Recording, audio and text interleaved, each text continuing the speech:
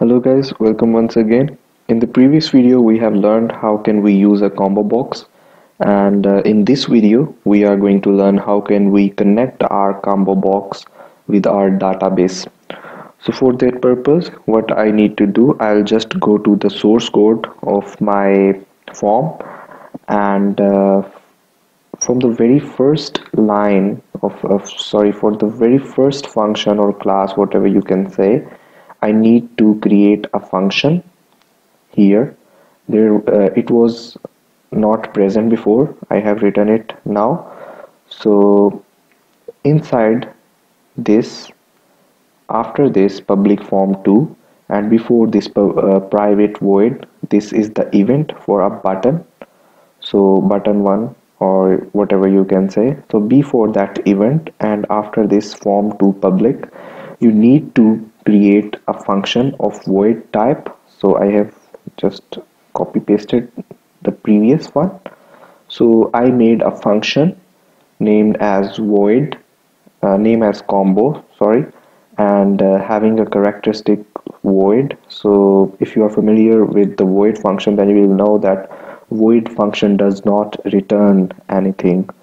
So inside this function I need to write a code and uh, if you are following my previous videos you will know that I have uh, taught you how can you insert data into your database and uh, how can you update data in your database and how can you delete data in your database uh, using these three buttons and using your front end.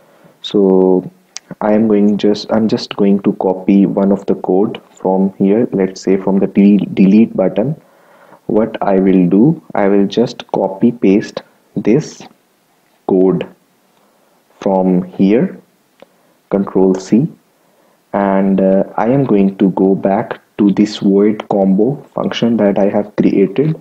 And in this function I am going to paste that code like this.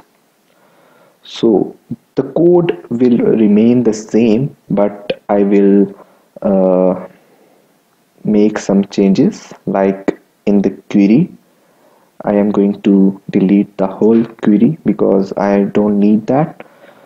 So I will write another query like uh, select static from database that is my database name dot table name that is employees in my case and uh, just just you need to write this select static from database dot employees and what you need to do you need to uh, remove this message because I don't need that anymore.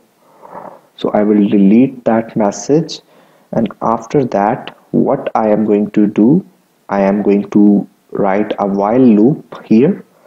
And inside this while loop I am going to pass this this is basically MySQL data reader variable.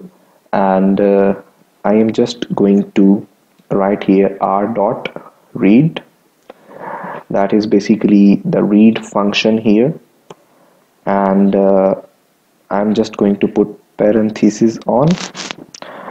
And inside this while loop I am going to introduce a string name as whatever s1 or s2 whatever you can say. Uh, let's say I have already introduced uh, s1 s2 in my program so let's stick to s string s is equal to and uh, now I am going to use that MySQL data reader variable as r dot get string yes this function.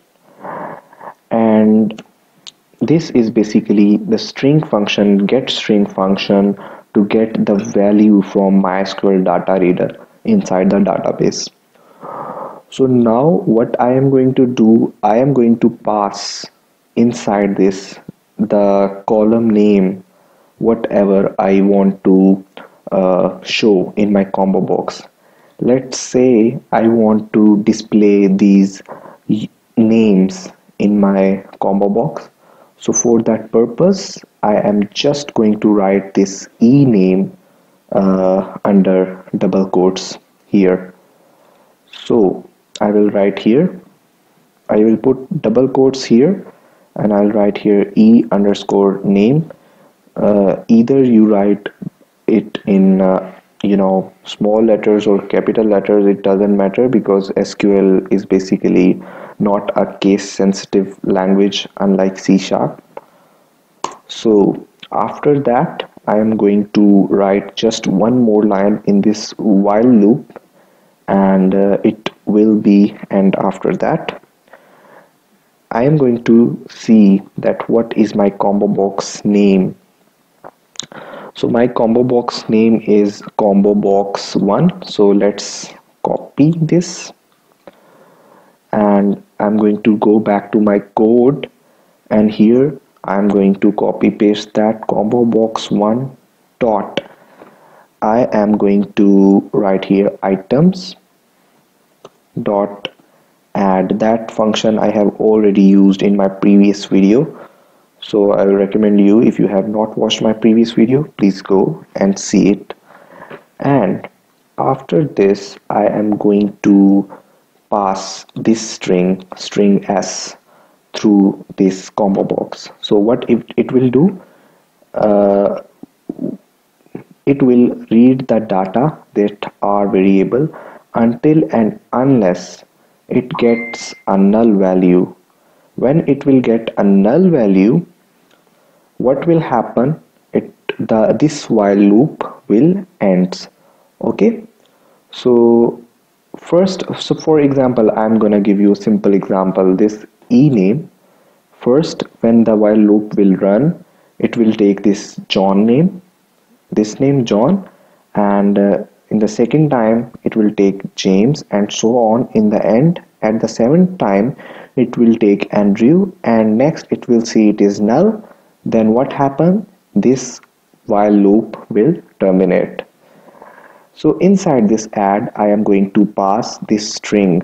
So it will keep passing the ename values and it will keep adding these values to this combo box. So now just it will uh, the string will be passed through this combo box and it will be stored in combo box. So now I'm pretty much done here with my code almost. So the next thing you need to do is just to copy paste this name and you need to pass this name. You need to write this function name right in this public form to put a semicolon here. Okay sorry you need, don't need to write void. You just need to write here combo like this. So that is basically used for a function call. What happened as uh, initialize component? It will initialize the form and after this what it will do it will execute this function. That means it is executing this whole code here right here. All right? So whatever is written inside this combo function void combo it will be executed right here. So we are done here. So let's run our program and let's see what we have on our output. So just I will start building my program. And uh, it is running and it is you know making my system ready to run the program. And uh, it runs here. So I'll log in using my credentials so when it will log in it is telling me login successful. So I'll press OK. And now I will just click on that and I will see that all the you know names have been displayed in this combo box successfully. So let's match it with our database. And uh, let's see. You can see John. First name is John. And here first name is John James and then James, Peter and then Peter, Usman and then Usman, Mark and then Mark. So you can see all the names have been displayed. So let's say I want to display these these passwords for example in in here combo box what I will do I will just change a single you know value here I will just write here e pass sorry I have to uh, stop debugging. And after uh, after when the debugging will be stopped I need to write here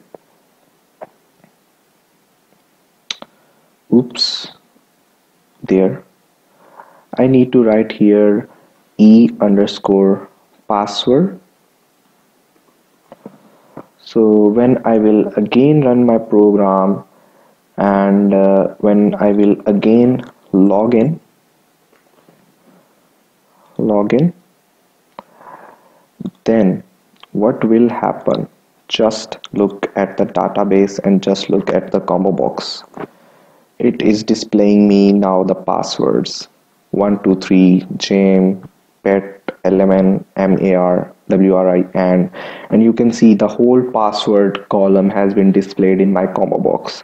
Hope you have enjoyed today's video. Thanks for watching and please rate comment subscribe and bye for now